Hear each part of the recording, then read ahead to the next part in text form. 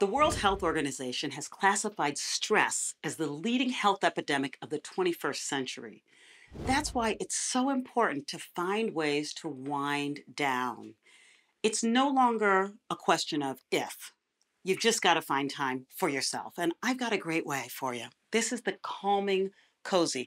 This is a little blanket that you actually zip into it has this pad on the bottom that vibrates. It's got three settings. You set the vibration.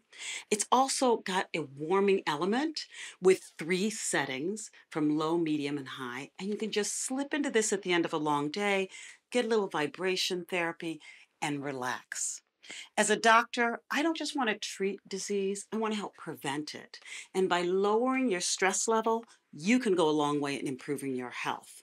Also, there's a safety feature with this. It turns off after two hours, so if you've got it turned on and you fall asleep, don't worry, it will turn off. Right now, we're offering 30% off on the Calming Cozy.